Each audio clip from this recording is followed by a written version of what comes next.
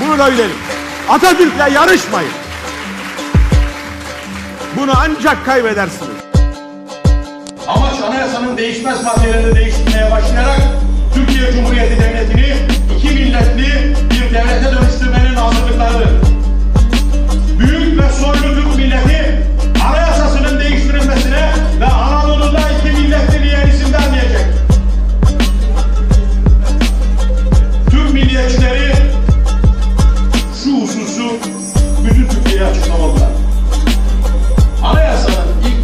İlk dört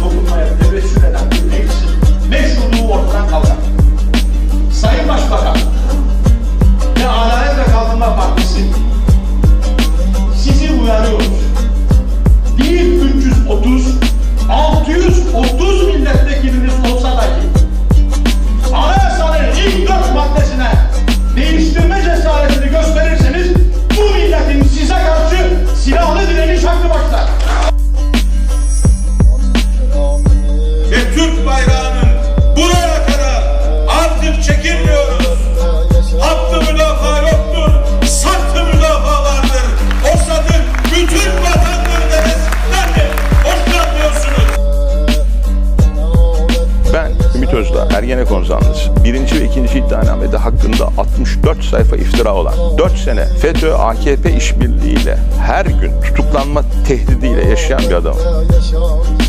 Ümit Özdağ derin devletin adamı mı? Ee, bir derin devlet olsaydı çok mutlu olurdum. Ne yazık ki yok. Dağda, derede, tepede, gece karakollarda, sınır ötesi Türkiye'nin dışında araştırmalar yaparken normalde bakın ayakkabıyla ayağınızı koymayacağınız kirlilikte yastıklara başımı koyarak araştırdım. Yani İstanbul'da veya Ankara'da oturup kitaplardan karıştırarak terör çalışmadım.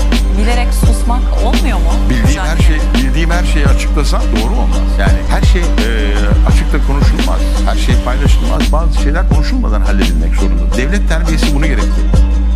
Bir MHP'li Türk milliyetçiliğinin kalesi olan MHP dururken niye siz olacaksınız? Türk milliyetçiliğin kalesi değil de onun için. Beyefendi ben hiç zıplamam ama zıplatırım. bir şey söylemem gerekiyor herhalde.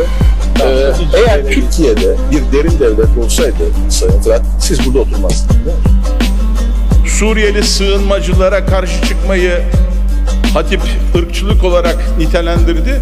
HDP PKK'nın bu konudaki tavrının çok açık olduğu ortada. Suriye'de yapılan stratejik göç mühendisliğiyle Suriye'nin kuzeyinde bir PKKistan Amerikan desteğiyle kurulmaya çalışılıyor ve oradan etnik temizlik Türkiye'ye yönelik yapılıyor. Ondan dolayı Suriyelilerin geri dönmesini istemiyorlar.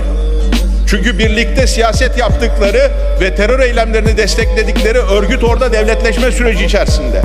Şimdi siz daha iyi anlıyor musunuz kimler Suriye'de kalsın istiyorlar ve neden kalsın istiyorlar?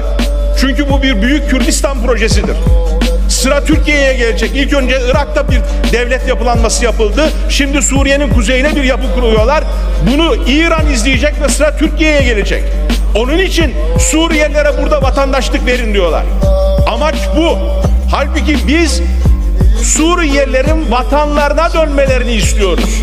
PKK tarafından şiddet kullanarak oradan Türkiye'ye yollanan insanların dedelerinin vatanlarına geri dönmelerini istiyoruz.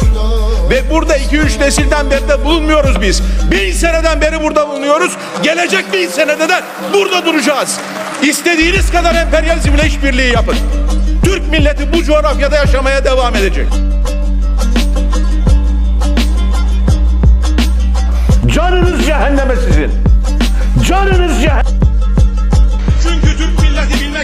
aqui.